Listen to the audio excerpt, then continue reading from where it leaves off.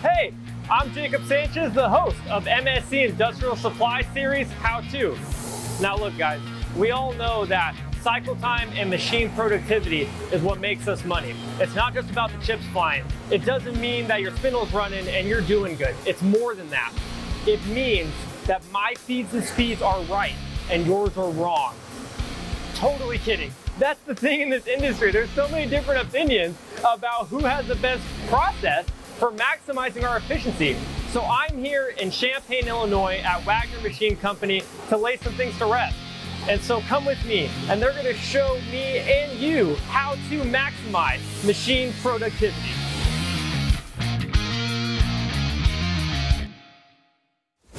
I'm joined today by Nate Schaub from over here at Wagner Machine Company. Thanks for joining me, Nate. Thanks for coming by. So, uh, productivity in this land of manual lathes, I don't know if we really should be talking about some productivity. Yeah, we might have to check out some other machines. But you know, that's all for a matter of opinion, I guess. Sure. All across our industry, everybody has their own idea of what productivity means to them in their business. And touching on that point, what does machine productivity mean here at Wagner? Uh, I mean, keeping the spindle running is a big one, and um, keeping your tool line cut, minimizing retracts, and minimizing, you know, unnecessary, you know, traverses.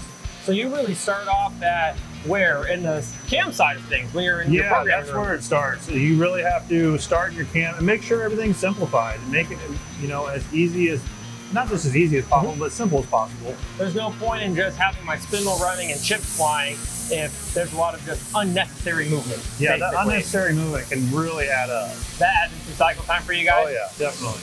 So it's really just maximizing the efficiency you do on the cam side, and Right. that transfers Making over to your machine the right side. tools and stuff like that.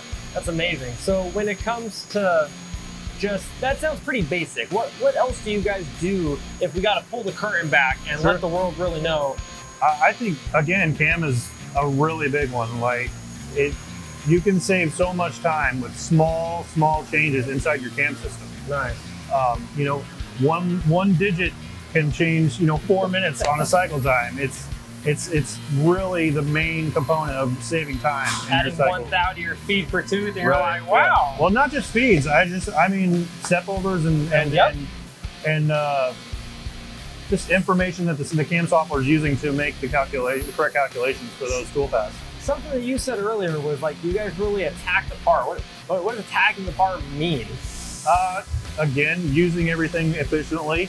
Um, if you have a an end mill with say an inch and a quarter length of cut, let's use the whole inch and a quarter. Let's not you know half uh, or half inch step downs. Yes, sir. Let's use an inch and a quarter all at once and take slight radial cuts to get that done in a more efficient manner. Dude, that's such a way of thinking that I really hope we start implementing more in this industry. Yeah. Is getting away from those low axials and then high radial engagements. This, Yeah. I want to see tool length down, chips flying, high speed. As much in the cut as possible. Dude, you know what? I'm ready. Do you got you got something you can show me that's Yeah, out can- here? I want to see the latest edition. I want to see something. Let's go attack something. All right. Let's go.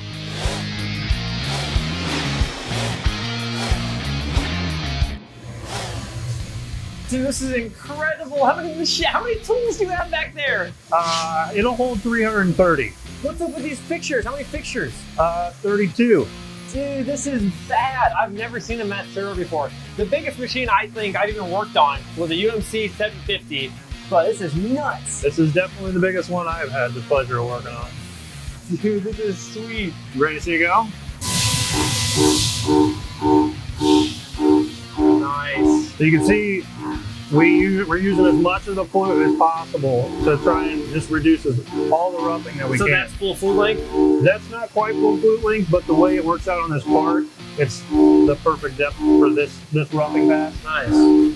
So right now, is this what attacking the part means to you? This is pretty much attacking the part. Um, originally, this this roughing pass was done with a longer end mill. Huh? Um, I took a made another one almost identical, but shortened it up as much as we could. All right, man. You're throwing a lot at me today. Let me let me catch my breath.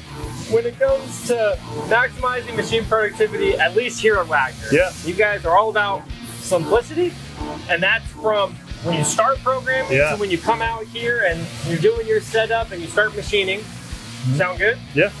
You guys are all about attacking the part. So you guys like to be pretty aggressive with your feeds and speeds and your cutting. Where it allows. Not, where it allows, I like Where it that. allows. I'm not, you're not going 80 inches a minute with a tap. No.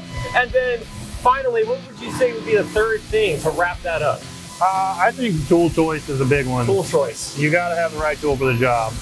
And that totally varies depending on what material you're cutting and the size of the part. This monster machine doesn't mean anything if you're not even utilizing the tooling in there correctly. Right? That's awesome, man. Well, you know what? Thank you so much. It's been a pleasure. I just want to say to all the viewers out there, thank you for joining me on another amazing episode of How To from MSC Industrial Supply. I'm going to hang out and watch some chips fly, but don't forget, everything you've learned today is just proof to you that you can learn how to maximize your machine productivity. Let's get back to checking this out.